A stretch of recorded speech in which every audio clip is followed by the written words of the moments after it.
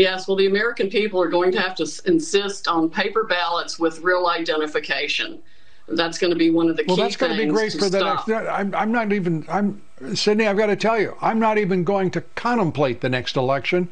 I'm not even contemplating the January 5th election in Georgia.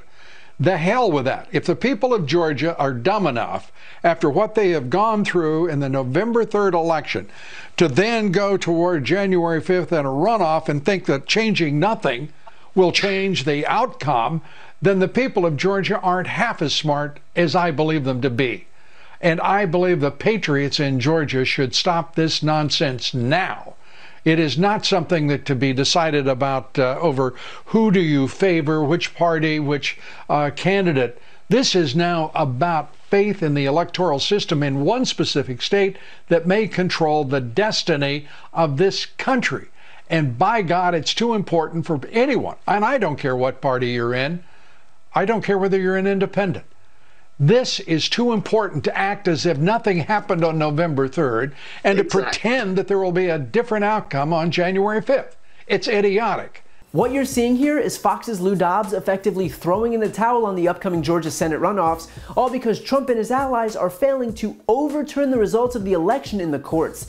That's what this is a temper tantrum from a Trump sycophant because he's incapable of accepting defeat. And so he's doing something that, frankly, I have no issue with, which is cutting off his nose to spite his face. Now, here's the thing I legitimately can't tell whether Lou Dobbs believes his own conspiracy theories about the Georgia election, or if he's just that committed to the bit that he's willing to lose the Senate over it. But the facts here are simple there was no fraud, and so as a result, there's nothing to change. People like Lou Dobbs and his guest Sidney Powell are losing their minds over a straw man. Consider this, if there was actually the widespread fraud that they're claiming, don't you think that would have been presented in court? And yet out of the 55 cases brought forward by the Trump campaign and its allies, they've won only one single case, and that was to shorten a cure deadline in Pennsylvania from 9 to 6 days. Otherwise, they failed to prove any of the fraud that they've been wailing about publicly in a number of instances to judges that Trump himself appointed. In other words, none of this is based in reality, and just complaining about it on TV every night isn't gonna make it real. And by the way, Lou Dobbs and Sidney Powell aren't the only Republicans to demand withholding support in Georgia. Sidney Powell's fellow lawyer Lin Wood has also been campaigning on the exact same message. Where's Kelly Loeffler here? Where's David Perdue? He ought to be standing right here. Those two people want your vote, then they ought to tell you what we're. Get a special session of the legislature now. Do not be fooled twice. This is Georgia. We ain't dumb. We're not going to go vote on January 5th in another machine made by China. You're not going to fool Georgians again. If Kelly Loeffler wants your vote, if David Perdue wants your vote, they've got to earn it. They've got to demand publicly, repeatedly, consistently. Brian Kemp call a special session of the Georgia legislature. And if they do not do it, if Kelly Loeffler and David Perdue do not do it, they have not earned your vote. Don't you give it to them. Why would you go back and vote in another rigged election? For God's sakes, fix it. You got to fix it before we'll do it again. They've already got 800,000 absentee ballots. I gotta say, when the entire Republican Party lined up behind this guy like he was a hero for representing Nick Sandmann and Kyle Rittenhouse, I wonder how they feel about raising the stock of the person who's now actively working to undermine their own party. I'm starting to think that there might be consequences to amplifying fringe figures whose allegiances are to conspiracy theories and lies. Even Donald Trump himself has been especially unhelpful when it comes to these Georgia Senate runoffs. Last week, he held a rally in Georgia that was ostensibly to help Kelly Loeffler and David Perdue, but of the roughly hour and 45 minutes that he was on stage, he allocated a grand total of two minutes to the Republican candidates. Two minutes. And when they did speak, this is what they had to deal with. We need you to vote January 5th. If you're our voice on January 5th, we'll be your voice for years. We have to make sure that we keep America strong.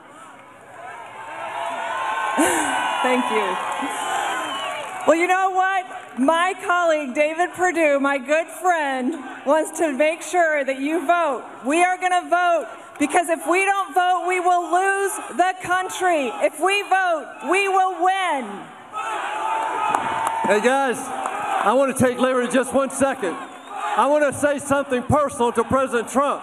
Hey, guys, I want to say something for President Trump personally.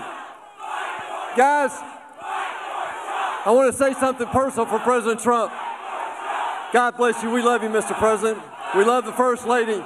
And we're going to fight and win those two seats and make sure you get a fair, square deal in the state of Georgia. God bless you, Mr. President.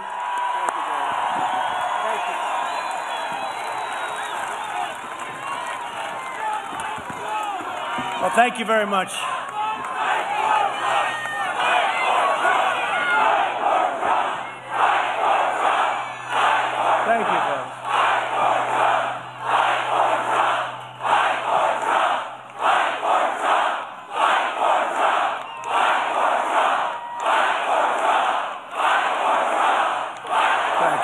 Thank you. And yet, because Trump could not care less about anyone who is not Donald Trump, he stood there silently while his audience chanted, Fight for Trump every time they tried to open their mouths. Not exactly the ringing endorsement they were hoping for. Also, there's the fact that if Loeffler and Perdue do decide to join Trump in his play acting and pretend that the election was rigged, they're basically telling their voters that Georgia's elections are not to be trusted. At the same time, they'd be trying to get them to vote in yet another Georgia election. They would literally be hurting themselves. But let's just be honest here, this is exactly what Trump wants them to do, because Trump doesn't care about them or the US Senate or anyone other than himself. He's only interested in preserving his own campaign, even if doing so is actively hurting the Republican Party's only hope of keeping the Senate. Still, he's only interested in perpetuating a rigged election claim that will only serve to reduce trust among Republicans in Georgia's elections. Turns out handing over the keys to the kingdom to an egomaniac might not have been the best idea after all. But if Republicans have shown us anything over the last several years, it's that they want a bunch of tinfoil hat wearing lunatics to be the mouthpieces for their party. And that's exactly what they're getting right now. They're now being held captive by people like Lou Dobbs and Sidney Powell and Lin Wood, all of whom are insisting that there's massive fraud and yet haven't succeeded in proving even a modicum of fraud when it actually counts. And unless Judge Jeanine starts issuing rulings, it doesn't look like that pattern is going to change. So while I don't normally agree with fringe figures on the right, this is one instance where I'd make an exception. Republicans should sit out when it comes to the Georgia Senate runoffs, and when that's the case, those on the right should take a long, hard look in the mirror about the consequences of amplifying conspiracy theories, propping up lies and misinformation, and fostering an environment where the only people who are rewarded are those who traffic in disinformation and chaos. It doesn't come without consequences, and we're seeing that play out on the right at this very moment.